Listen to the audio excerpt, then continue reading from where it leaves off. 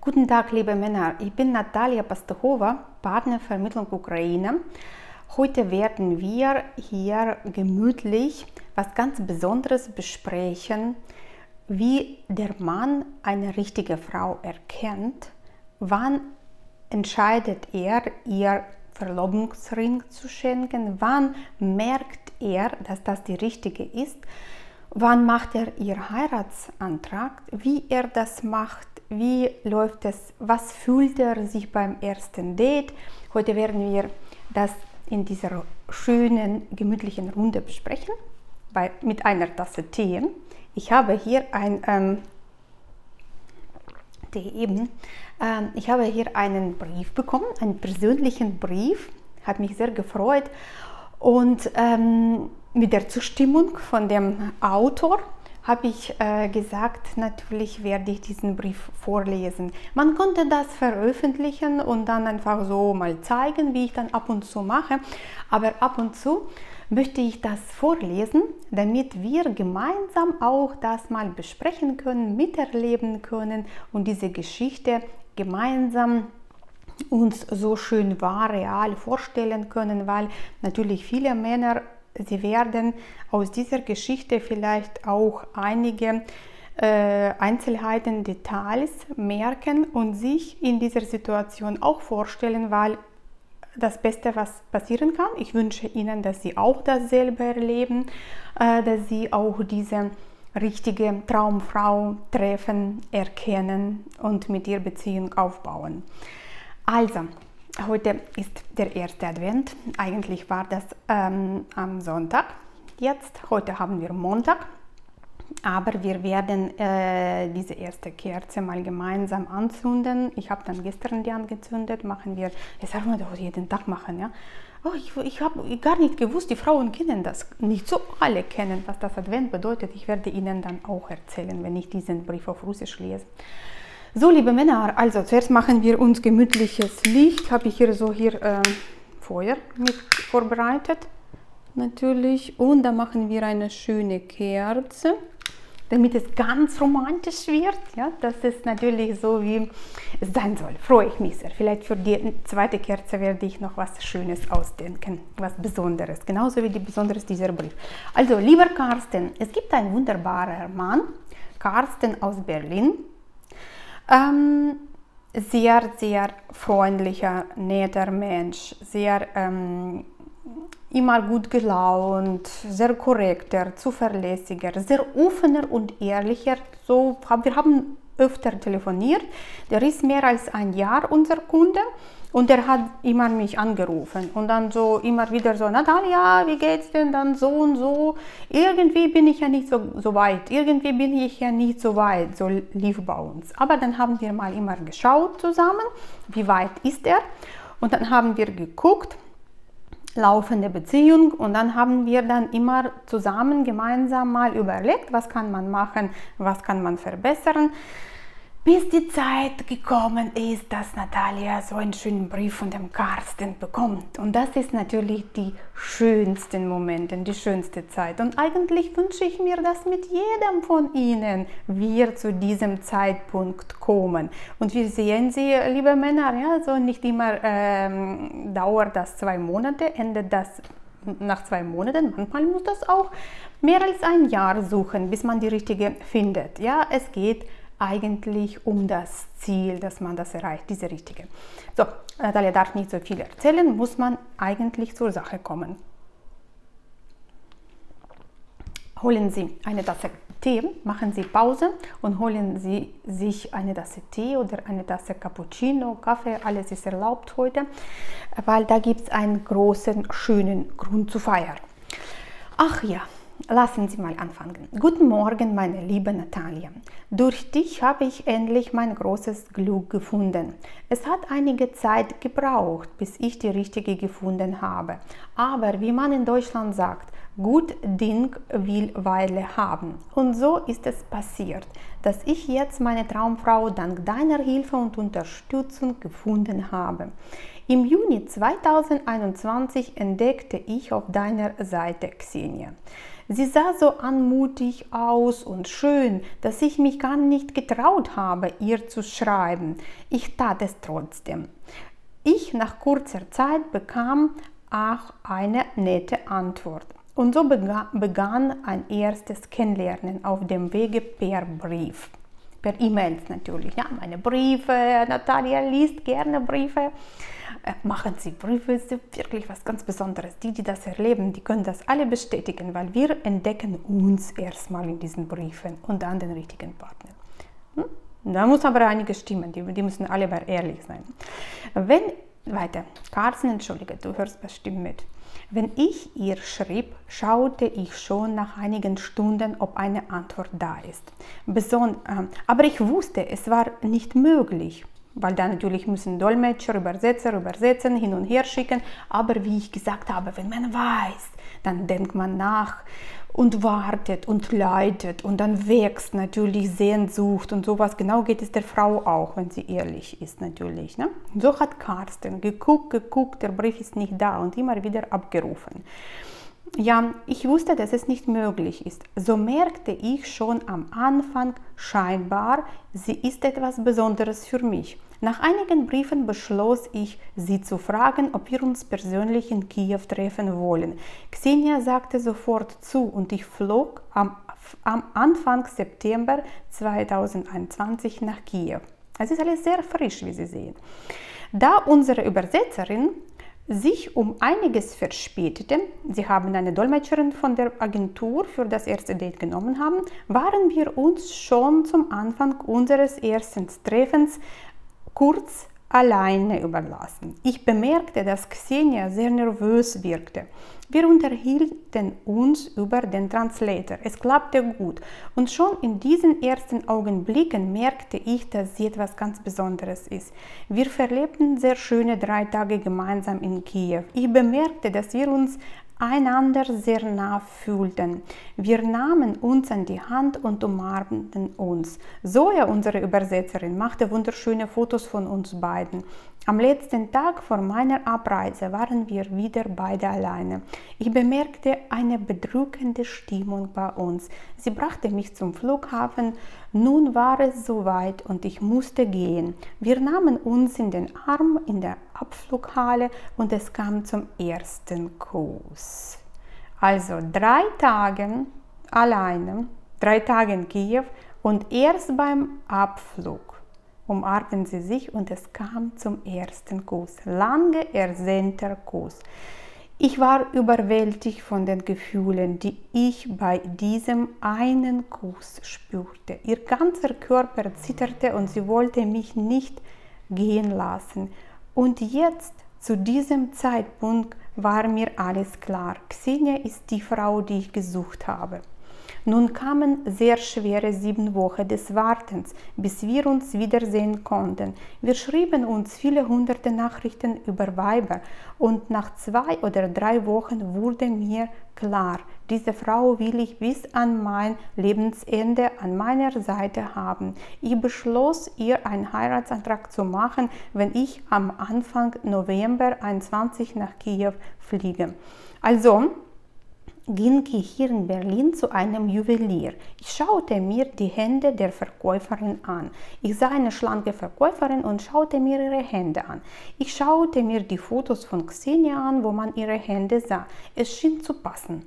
Gemeinsam mit dieser Verkäuferin schauten wir uns nochmal die Bilder an und auch die Stelle fest, auch sie stellte fest, es könnte passen. Ich suchte einen sehr schönen Verlobungsring mit Diamanten aus. Die Verkäuferin steckte ihn sich auf den bewussten Finger. Er passte bei ihr. So beschloss ich, diesen Ring zu kaufen. Nun habe ich beschlossen, diese magischen Worte eines Heiratsantrags zu lernen. Natürlich auf Russisch.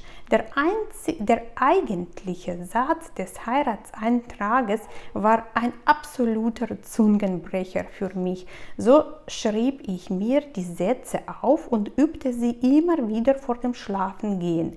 Ich habe immer wieder überlegt, ist es die richtige Entscheidung? Aber ich empfinde so viel Glück, Emotionen und Gefühle für Xenia, auf was soll ich denn warten? Und so ist es, wie es ist. Und ich werde ihr diesen Heiratsantrag nach vier Monaten machen. Also vier Monate nach dem ersten Kontakt macht Carsten ihr Heiratsantrag. Hm? Nun war der Tag gekommen und ich flog wieder nach Kiew zu meiner Xenia. Sie holte mich vom Flughafen ab, obwohl sie eineinhalb Stunden fahren musste. Sie wohnt am Stadtrand von Kiew. Wir lagen uns in Armen und wollten nicht mehr voneinander lassen. Sie brachte mich zum Hotel und nach einiger Zeit fuhr sie wieder nach Hause. Wir waren so von unseren Gefühlen füreinander überwältigt, dass es 0,30, also halb drei in der Nacht war, als sie wieder nach Hause fuhr. Am nächsten Morgen trafen wir uns in der Hotellobby. Ich beschloss, ihr einen großen Rosenstrauß zu kaufen und wir spazierten auf dem Maidan. Wir brachten den Strauß Rosen in mein Hotelzimmer. Nun war es soweit. Ich wollte ihr diese Sätze sagen. Ich bat sie, auf dem Stuhl Platz zu nehmen, ging vorher noch mal kurz auf die Toilette, um die Sätze noch mal anzuschauen. Dann nahm ich die Hand und sagte diese Sätze. Sie schaute mich mit ihren großen himmelblauen Augen an und sagte, ja, ja, ja, da, da, da, hat Carsten geschrieben, da, da, da. Und wir küssten und umarmten uns. Am Abend gingen wir mit unserer Übersetzerin in ein sehr schönes Fischrestaurant Adriatic. Es ist in der Nähe des Nationalen Hotels. Ich glaube, ein guter Tipp, um dort mal essen zu gehen. Unsere Zoe berichtete uns von dem Brauch, der Ring müsste in ein Glas Sekt und Xenia müsste draus trinken. Es sollte ihr viel Glück äh, es sollte uns eigentlich viel Glück bringen. Und so machten wir es auch und tranken gemeinsam aus diesem Glas Sekt. Die Tage vergingen wieder wie im Fluge und nun bin ich wieder zu Hause.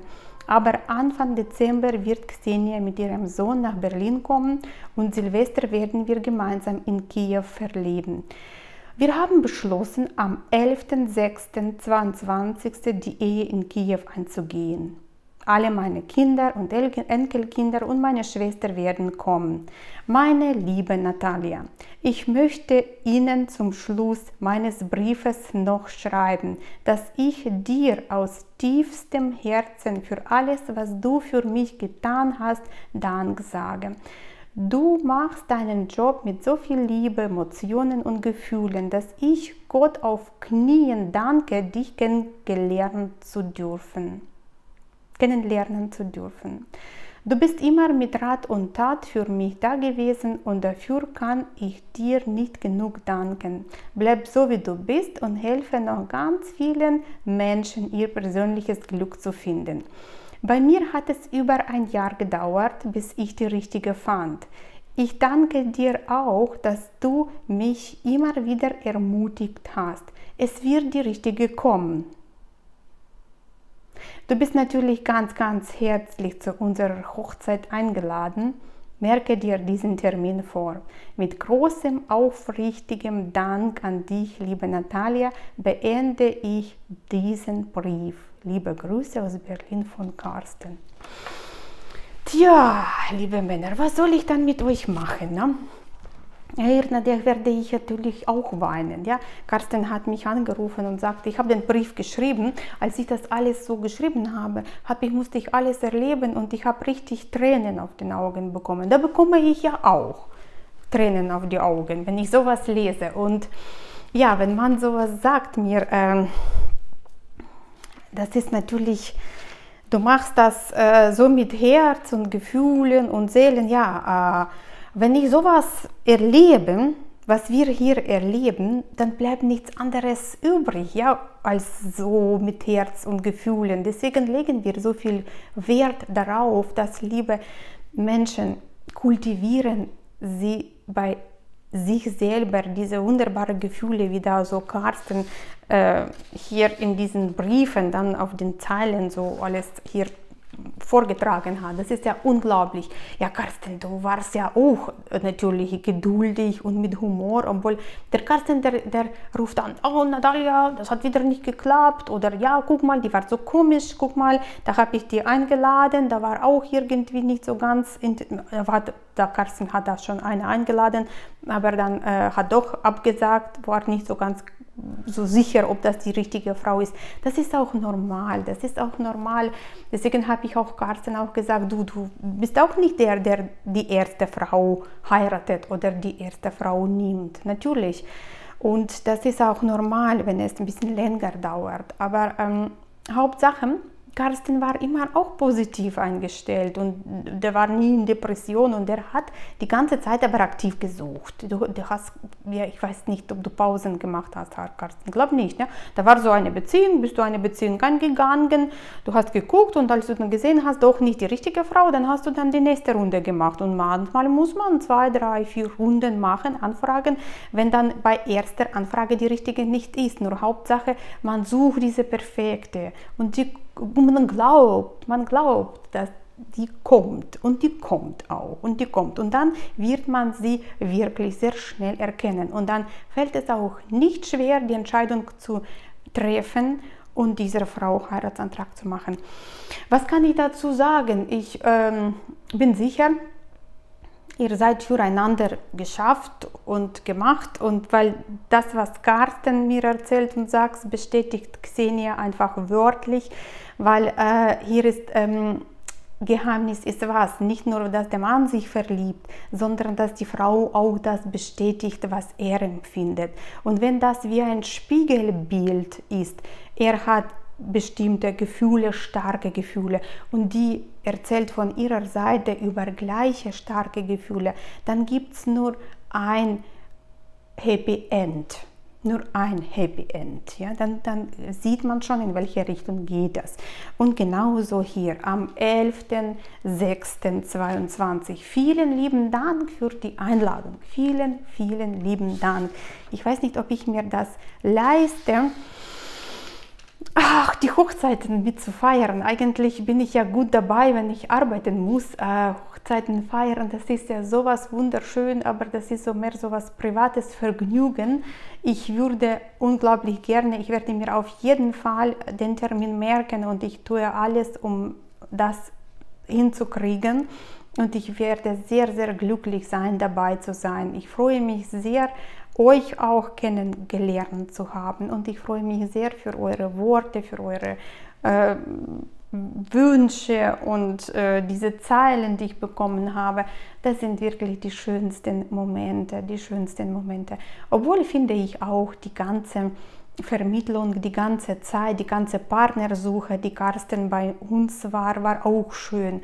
Und äh, bei dem Telefonat sagte Carsten, das ist ja schon wirklich erstaunlich. Man trifft nicht so oft solche besondere Menschen auf dem Weg, wie man zum Beispiel jetzt gemeinsam diese Partnersuche startet. Wie wunderbar ist das. Äh, heute habe ich noch einen ähm, neuen äh, Kunden bei mir im Büro gehabt und wir haben gesprochen, der haben gesprochen folgendes, sagte, Mensch, wenn man so ein Auto kauft, ja, dann bezahlt man, ich weiß nicht, 50.000, 60.000 Euro und man kauft heutzutage Auto vielleicht für 10 Jahre höchstens. Der sagte mir für 6 Jahre. Aber das ist so ernst und sowas alles. Aber wenn man für sich eine Frau aussucht, sich Partnerin für den Rest des Lebens aussucht, dann ist es auch irgendwie Geld zu schade und Zeit zu schade. Deswegen ein Jahr für sowas ist nicht zu schade, wenn das den Rest des Lebens halten soll. Deswegen schauen wir, dass das wirklich eine besondere, richtige Partnerin ist. Deswegen Eile muss hier wirklich nicht sein. Ruhe, Spaß und mit Genuss wir müssen einfach so jeden Tag genießen. Jedes Telefonat, jedes Gespräch muss angenehm sein. Genau so war es. Äh, Carsten hat die Partnersuche angenehm gestartet. Die ganze Partnersuche war sehr angenehm, Carsten. Ich muss sagen, wir hatten, glaube ich, nie einen Konflikt oder Streit gehabt. Wir haben zwar irgendwie so ernste Gespräche geführt, aber nie irgendwie so, glaube ich, negative Emotionen waren bei uns nie, glaube ich, zu hören. Ne? Wir waren konstruktiv äh, zielorientiert haben gearbeitet, bis wir diese Xenia gefunden haben, entdeckt haben und jetzt sind alle glücklich. Wir haben ein Happy End und äh, ich glaube, äh, unser Kontakt geht nicht verloren. Ich freue mich sehr, dass ähm, hier wieder etwas ganz Besonderes entstanden ist, wie ich mich unglaublich sehr über jedes Paar von uns freue. Nochmal, lieber Carsten, lieber Xenia, vielen Dank euch äh, auch für eure Fotos, für eure, eure Zahlen. Das ist einfach unglaublich. Vielen Dank, liebe Männer, für ihre Aufmerksamkeit. Und ähm, ich danke allen für nette Kommentare, für nette Worte, weil ich bin ganz sicher, jedes gute Wort, was wir sagen, was wir schreiben, ist ein großer Beitrag in unsere Zukunft, weil wir dann zehnfacher zurückbekommen davon, was wir heute geben. Und äh, mit dieser Botschaft beende ich dieses wunderschöne Video und ich wünsche allen wunderschöne Vorweihnachtszeit und einen wunderschönen zweiten Advent. Zuerst, ich glaube, darf man zweiten Advent wünschen eigentlich vor dem ersten? Nee, vor dem ersten sowieso nicht, ja? aber wenn wir schon ersten Advent haben, darf man jetzt schon schönen zweiten Advent wünschen, wenn die erste Kerze erst brennt. Kennt sich jemand so richtig gut damit aus? Oder darf man am Mittwoch immer noch ersten Advent wünschen, schönen ersten Advent wünschen. Das erklären Sie mir bitte. Ich bedanke mich und ich freue mich sehr auf Ihre Likes, auf Ihre Kommentare und bis zum nächsten Advent.